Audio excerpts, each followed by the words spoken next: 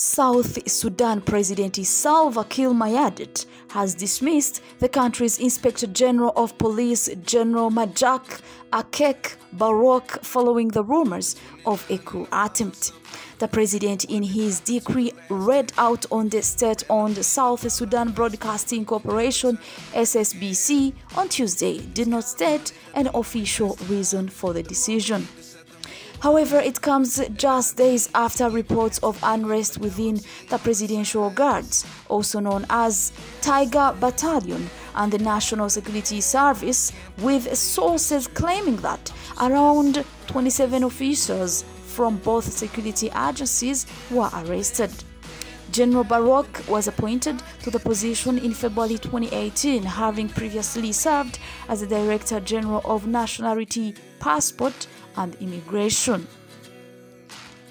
President Kiir has also appointed Lieutenant General Atem Marol Bial as as the new Inspector General of Police.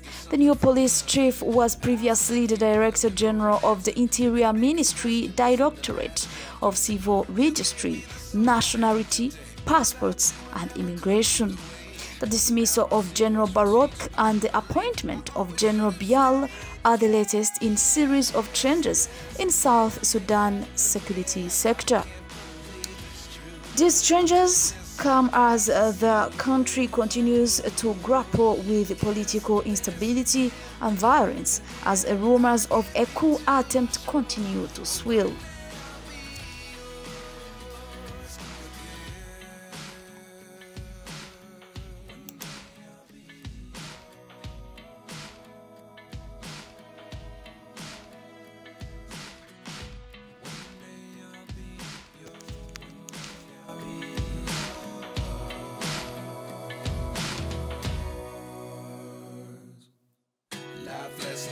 One in a dozen.